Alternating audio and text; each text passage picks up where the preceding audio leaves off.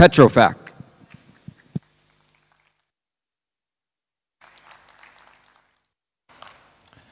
So good afternoon, ladies and gentlemen.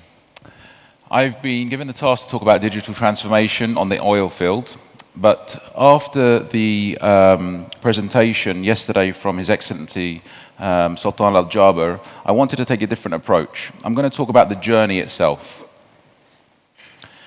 So, with regards, this is actually the uh, digital maturity curve by, the, by industry. And the first thing you can observe is the fact that oil and gas is at the lower end of the spectrum. Okay? It's not a bad thing. Okay? It's just the fact that all of the industries above, they're basically um, driven by consumerization. So you have the volume, obviously you have demand, and hence the technology itself is driven to its boundaries much, much quicker.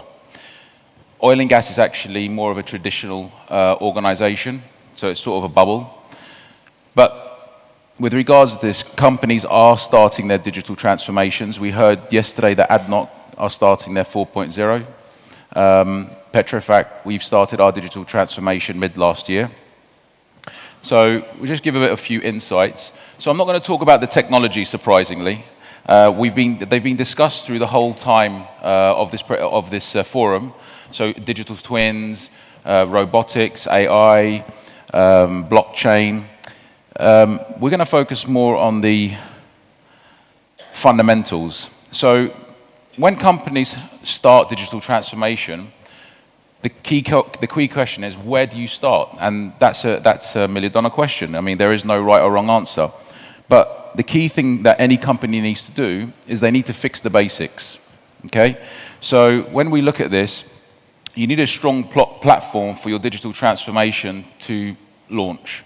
So typically what we say here is you need to invest in your infrastructure, your security, your governance frameworks, your security frameworks to make sure they're equipped for future development. And at the same time, you have to start to think from now about your application landscapes. Because most oil and gas companies still operate in silos and they still have heavy legacy systems. So you, we need to start looking forward and looking at cloud, uh, software as a service, and other agile uh, tool sets. And the, uh, the, other, the other key uh, point here is the fact that this is a business-driven strategy. It's not technology, it's not IT. So you need to make sure you get 100% commitment from your leadership, and it comes from the top, the board, the CEO, that this is coming and there is a reason for it. So business ready, technical ready. So I believe there are three digital pillars. Um, they are about culture, it's about productivity, and it's about the customer. So when we talk about culture here, we're dealing with people. So, you know, it has to be handled very, very carefully. Um, change management is crucial. There needs to be a lot of communication.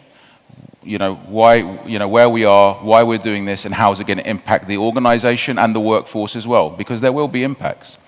And the second point here is that already a lot of organizations have a form of innovation, most probably in the organization.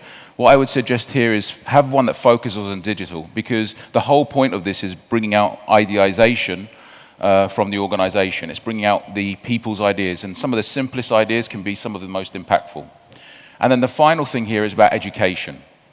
So on education, it's an opportunity to upskill your staff. The current uh, applications you have in your company, I mean, we've gone, as an example, we went, we're on, on Microsoft, but we have some very powerful digital tools that we don't really use. So some of them, for example, are your SharePoint, Power BI, um, and Teams. So for collaboration, mainly around collaboration and analytics, which is the future. Uh, the second point is on productivity. So at the end of the day, why are we doing this? This is all about optimization, okay? Um, it's doing things smarter, faster, uh, ad with agile, and at the most um, uh, cost-conscious uh, perspective, you know.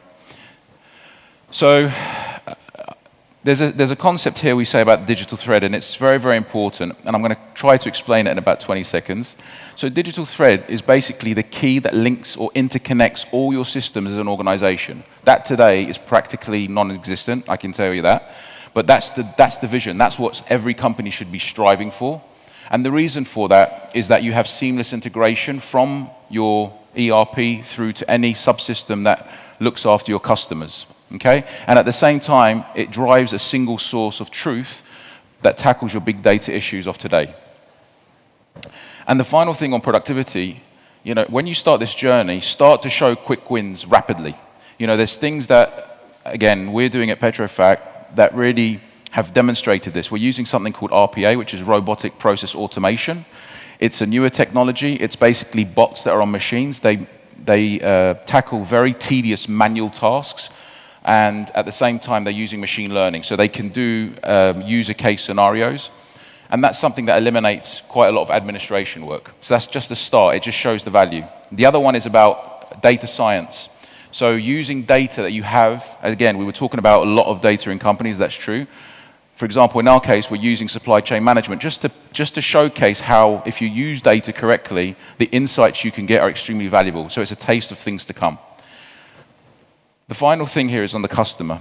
So about the customer, we've been hearing this constantly through this forum as well, is about collaboration. It's all about collaboration. We need to create an environment where suppliers, customers, partners come together and really think about ideas and these are industrial issues, by the way. They're not eh, eh, the, the industry's issues, that, and potentially regional, but potentially global. So, you know, we're in the lovely city of Abu Dhabi, and I've already made my contacts with ADNOC. I've already made my contacts with Masdar. So I'm going to bring in Etisalat, and we're going to get either we're going to go to uh, uh, ADNOC's Innovation Center or potentially Etisalat's. We're going to sit together. We're going to start that. So maybe next year we can have a discussion about that. So really, what we're doing here is we're shaping the organization we're shifting towards optimization, and then we're sharing in the ecosystem of the industry. So I just want to show a user case we'll be doing. We have a product called Petrolytics. Um, we've just created it, and it was based on the feedback from the ecosystem we're in. We're, a, we're a um, EPC uh, company, and we're also a oil field services company. So one of uh, our customers in the North Sea uh, they were very keen to get more insights, quicker insights, and also at the same time maximum, um, um, maximum um, availability. So what we've done, we haven't changed anything. We just thought, what we, do we have? We have IoT, we have data. Um, you know, we, we started to play with uh, AI, we've started to play with machine learning. What we've done is we've transferred our domain knowledge in advanced algorithms to come up with um, a predictive analytics platform that allows us to today on major outages gives us 10 days before an outage happens on average. That, that's changing our culture as a company because it's making us much more proactive than reactive. Okay? So again, just one little example. Digital transformation key takeaways. I wouldn't do my job if I can't let everyone in this room take a few little things away. So basically, again, you're dealing with people, so change man management is critical. Collaboration, collaboration, collaboration. I can't say it enough. You know, I think a couple of people have been saying more heads are better than one. That's absolutely true. And at the same time, a big issue that I've, I've been in oil and gas for about six months, very short period of time. But one thing I've, I've noticed is that the youth in the organizations is not, not, not like the previous institutions I've been at in the industries. So, you know, and I know all the Generation X and the millennials, they want to go to the Googles and, you know, all the other companies, like the advanced companies, Facebooks, we need to make oil and gas sexy again, okay? And, you know, this, this, is, this is very, very uh, important for oil and gas because we keep telling about big data and data. But the problem here is that it, Gartner has put some prediction on by 2022, the youngsters coming up, the Generation X and millennials coming into the workplace, they will have the skills as the data scientists I have in my organization today, which are very, very few and far in the world to, to get quality ones, they're going to come out of institutions, and that's not their main, that's not their main domain. Okay? So that's going to tackle the big data issues of the future. And at the same time, the mature staff we have in the organization are critical because they have the domain experts. You put those two uh, demographics together, and you've got a very powerful solution already in place. So when we talk about digital uh, digital transformation, it is a fad, okay? And the way to think about this really is about the continuous next. Why? Because this is a, an evolution. Someone was just saying on the presentation before, it's about the transformation takes time. It's the same thing with digital transformation. You're not going to get it in one or two or three years. When you've done your full transformation, it could be five, ten years, right? But at least you're driving to something and, you, and you know, it's, it's, it's, it's a journey. So the last three things I'm going to leave you with is three words that you can take away, and that is shape, shift, and share. okay, thanks very much, everybody.